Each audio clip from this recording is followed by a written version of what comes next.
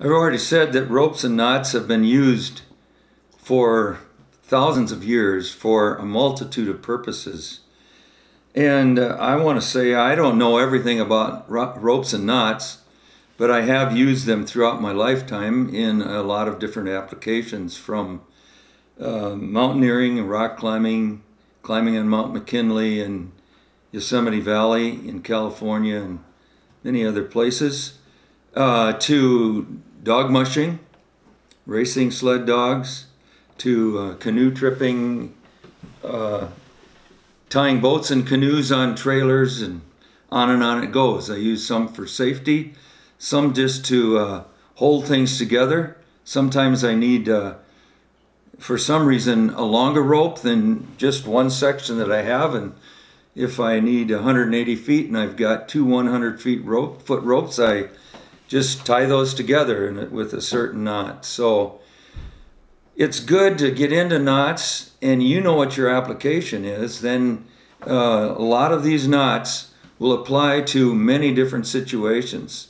So I think it's time to get on with it and uh, you'll figure out your application. One thing I'd like to do before we go on any further, I want to talk a little bit about cutting and uh, putting ends on a rope, whipping the ends or melting them. First of all, I see here a couple of kernmantle type ropes, and I've been saying that the center of the rope was the core that holds the weight. Here we have a sheath that's slipping away from the end, and we didn't, or it's not my rope, I, so I'm going to claim innocence here, but I wouldn't be innocent if I didn't share with you what needs to be done here.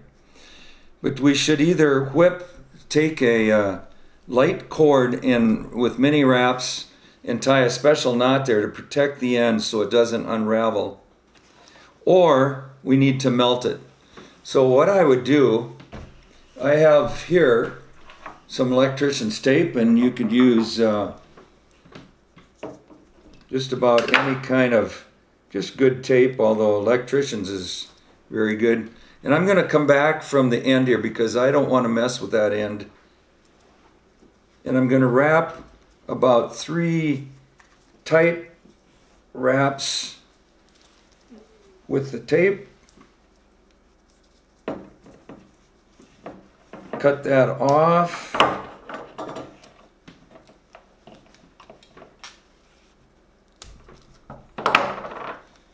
And make sure that's fastened down well.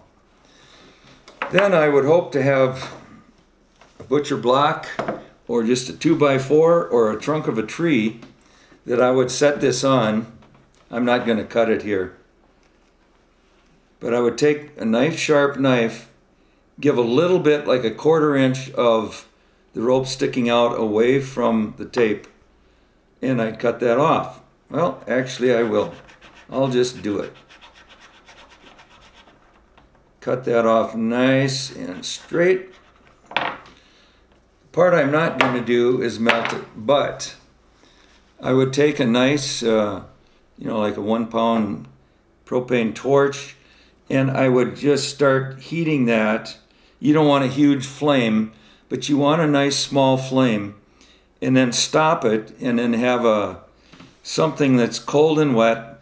I use my finger with a little spit on it I'll quickly tap around it and you get a nice hard end to that that won't unravel